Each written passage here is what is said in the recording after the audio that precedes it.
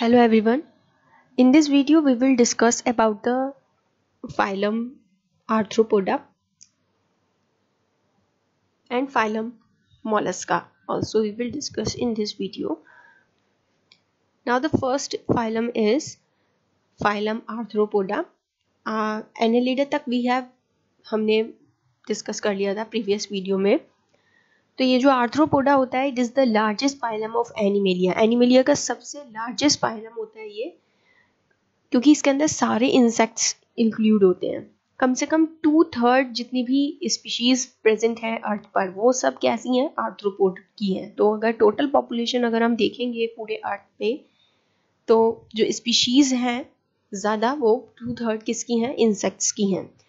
तो अगर हम इसकी organ system level of organisation की बात करें सिमेट्री की बात करें so this we have discussed in the table also symmetry इनकी बाईलेटरल रहती है organ system level of organisation रहता है, और दीज आर ट्रिप्लोब्लास्टिक होते हैं ये, और सीलोमेट्स एनिमल्स होते हैं।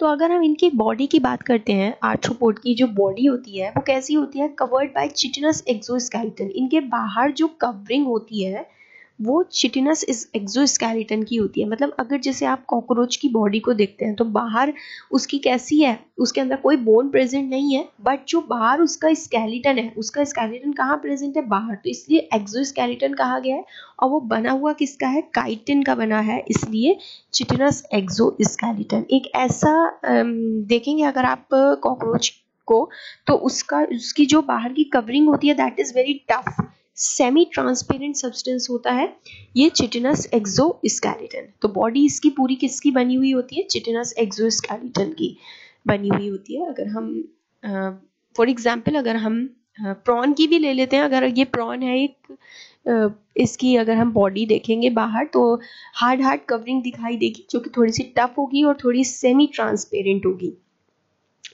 तो अब इनकी जो बॉडी होती है जनरली इन्हीं सभी की ये सब आर्थ्रोपोड में आते हैं सारे इंसेक्ट्स दिस इज़ लोकस्ट और butterfly scorpion and this is prawn तो अगर हम इनकी बॉडी को देखते हैं तो it is divided into three parts the body consist of this is head इनका ये हेड होता है, ये इनका थॉरिक्स होता है एंड यहाँ से पार्ट होता है इनका एब्डोमेन तो इनके तीन पार्ट होते हैं हेड थॉरिक्स एंड एब्डोमेन इनके ज्वाइंटेड अपेंडेजेस होते हैं। यहाँ पे देख रहे हैं आप? ज्वाइंटेड अपेंडेजेस है। यहाँ पे भी देखिए ज्वाइंटेड अपेंडेजेस है। इसीलिए ही तो नाम इनका क्या है? आर्थ्रोपोडा है। आर्थ्रो का मतलब होता है ज्वाइंट और पोडा का मतलब होता है अपेंडेजेस जिनके ज्वाइंट अपेंडेजेस हैं दैट इज़ इंसेक्ट्स वो किसके अंदर आते हैं? आर्थ्रोपोडा के अंदर आते हैं। जैसे आप सारे ही इनमें इमेजेस में देख सकते हैं कि ज्वाइंटेड अपेंडेजेस है। ज्वाइंटेड अपेंडेजेस है सबके पास। तो that's why they have jointed appendages अब अगर हम इनकी रेस्पिरेटरी ऑर्गन्स की बात करें तो इनके अंदर हर एनिमल में रेस्पिरेटरी ऑर्गन अलग अलग होता है। तो अगर हम प्रॉन की बात करते हैं तो यहाँ पे जो ये प्रॉन जनरली वाटर में ही पाया जाता है मेराइन होता है ये।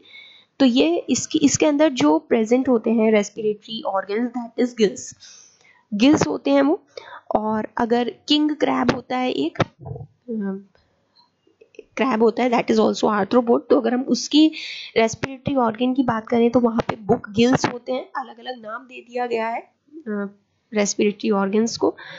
देन ये स्कॉर्पियन है, यहाँ पे इमेज ये सी वाली गिवन है दिस इज़ स्कॉर्पियन तो इसमें जो रेस्पिरेटरी ऑर्गेन होता है, वो होता है बुक लंग्स और ट्रैकियल सिस्टम भी होता है, जैसे कि कॉकरोच है वहाँ पे, जो रेस्पिरेटरी ऑर्गन होता है, वो होता है ट्रैकिया का बना हुआ।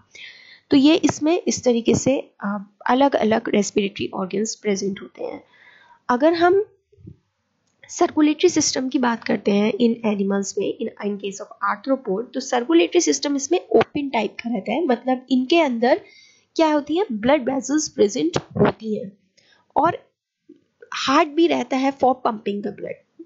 So sorry circulatory system is of open type मतलब कि इनके पास ब्लड वेजल्स प्रेजेंट नहीं होती। The blood is directly but in to the body open का मतलब यही होता है कि जो ब्लड uh, है वो डायरेक्टली बात होता है पूरी बॉडी में। तो circulatory system is of open type मतलब ब्लड वेजल्स प्रेजेंट नहीं है। जो भी ब्लड है, वो उनकी पूरी बॉडी में ऐसे ही डायरेक्टली बाद होता है और इस टाइप के सर्कुलेटरी सिस्टम को हम कहते हैं, जिसके थ्रू ये पास आउट होता है, जितना भी ब्लड है इसमें, उसको हम कहते हैं sinuses we have discuss this इसमें बहुत सारे सेंसरी ऑर्गेन होते हैं इनमें प्रेजेंट जैसे कि एंटीना प्रेजेंट होता है इन एनिमल्स में. और आईज होती हैं अगर आईज होती हैं तो दैट इज़ कंपाउंड और सिंपल uh, होती हैं दोनों हो सकती हैं इसमें किसी किसी में कंपाउंड होती हैं किसी किसी में सिंपल होती हैं। स्टैटोसिस्ट प्रेजेंट होते हैं या हम इसको बैलेंस ऑर्गन भी कहते हैं अपने आप को बैलेंस करने के लिए ऑर्गन इनमें प्रेजेंट होते हैं। तो these are all the sensory organs present in arthropod अगर हम इसको एक्सक्रीशन से देखेंगे एक्सक्रीशन अगर हम देखेंगे तो that is through Malpighian tubules structure होता है ये, जिस तरीके से नेफ्रीडिया एनेलिडा में आया था, उसी तरीके से यहाँ पे एक्सक्रीशन अलग स्ट्रक्चर से होता है that is called Malpighian tubules dioecious होते हैं जनरली सेक्सेस सेपरेट होते हैं. अगर हम इन्हीं को ही देखें तो बटरफ्लाई है जैसे कि तो अलग अलग सेक्सेस प्रेजेंट होंगे.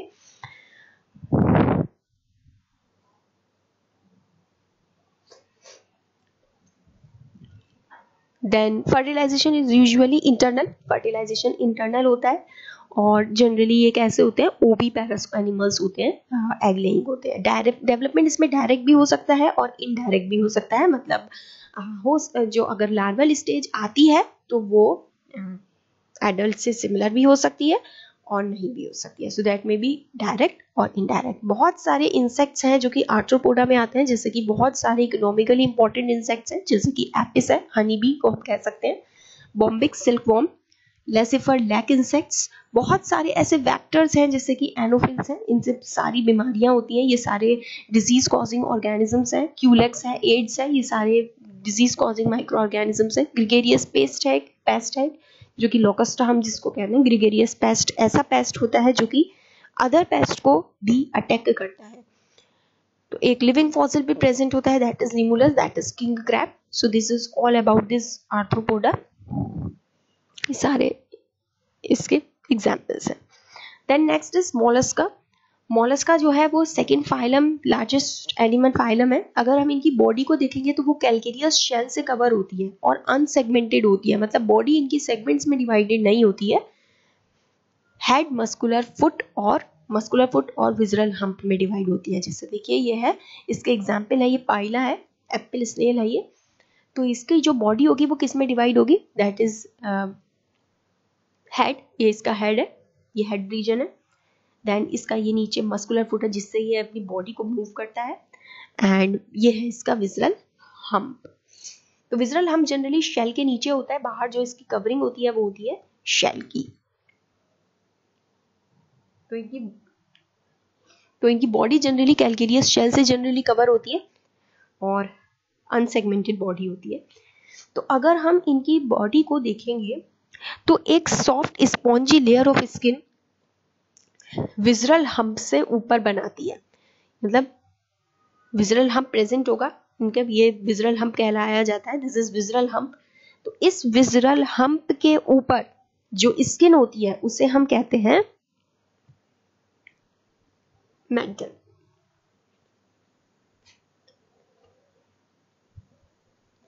और हम और मेंटल के बीच का जो स्पेस होता है. दैट इज़ मेंटल कैविटी मतलब मान लीजिए जैसे ये क्या है हमारी, ये पूरी एक शेल है.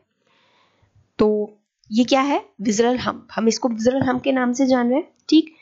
फिर विजरल हम के ऊपर क्या प्रेजेंट है? मेंटल प्रेजेंट है. और मेंटल और विजरल हम के बीच में, यहीं पर इंटरनल स्ट्रक्चर है ये. इंटरनल की बात हो रही है.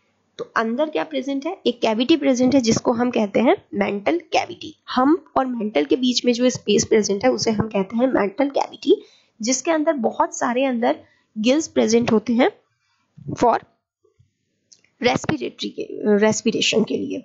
देन इसका जो एंटीरियर हेड है, ये आगे वाला जो हेड होता है, ये होता है एंटीरियर और जो पीछे वाला हेड होता है, इसे हम कहते हैं पोस्टीरियर तो जो एंटीरियर हेड हेड रीजन होता है, इसमें सेंसरी टेंटिकल्स आपको ये दिखाई दे रहा है. These are the sensory tentacles ये सेंसरी टेंटिकल्स प्रेजेंट होते हैं एंटीरियर हेड पे. तो यहीं पर ये माउथ भी प्रेजेंट होता है. इस माउथ में क्या होता है? एक स्ट्रक्चर प्रेजेंट होता है जिसे हम कहते हैं रेड्यूला ये रेड्यूला क्या होता है? एक रेस्पिंग ऑर्गन होता है फॉर फीडिंग एक टंग लाइक ऑर्गन होता है, जो कि टंग का काम करता है। So this is the structure of a mollusc किस किसमें इनकी बॉडी अनसेगमेंटेड होती है? Calcareous into head muscular foot and visceral hump तो इसके एग्जाम्पल्स हैं मोलस्का के पाइला और ऑक्टोपस होता है इसका एग्ज़ाम्पल जनरली क्या होते हैं? ये डायूशियस होते हैं। सेक्स ऑर्गन्स अलग अलग पे प्रेजेंट होते हैं सेपरेट होते हैं। एंड ओवी पैरस होते हैं with indirect development indirect development होता है इनका।